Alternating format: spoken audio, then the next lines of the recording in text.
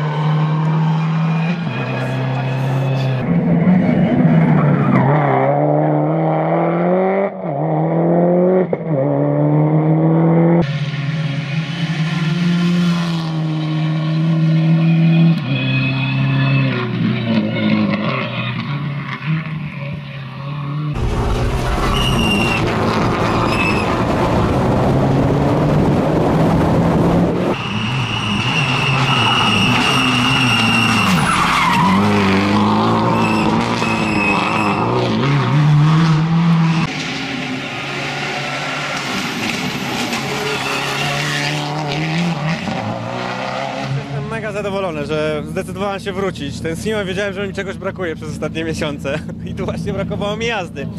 E, comeback, no chyba przyzwoity. Pierwszy raz tym samochodem. E, naprawdę fajnie się bawiliśmy z kilometra na kilometr szybciej. Okej, było troszeczkę małych błędów, ciągle jadę nie tym biegiem co trzeba. W jechałem na początku, ale z odcinka na odcinek progres. Mega duży uśmiech, dużo żartów z Michałem. No znamy się tyle lat, także też atmosfera w furze niesamowita, rajd niesamowity, pogoda fajna, mega dużo ludzi, no i ekstra odcinki. Widziałem swoje drzewo, nie wiem czy pamiętacie, jak Swiftem jedno jedyne drzewo e, zaatakowało mi Swifta. Śmialiśmy się za każdym razem jak przejeżdżaliśmy. Mówię, twoje drzewo. Także mega, mega fajny rajd, mega. W Barburce Warszawskiej widzimy się je w tym, w tym roku jeszcze? Tak, e, pojedziemy tym samym e, Subaru, to jest pełna NK, nie będziemy nic zmieniać. E, no i to jest, chcemy potraktować ten samochód jako samochód treningowy. A co dalej się rozwinie, zobaczymy w połowie zimy. Dziękuję i oby był pełny sezon w przyszłym sezonie, w przyszłym roku. Będziemy robić co w naszej mocy. Czyli samochody z napędem na jedną oś. Klasyfikacja dla zawodników, dla kierowców, którzy są uprawnieni do startu w zawodach nieco wyższej rangi i mają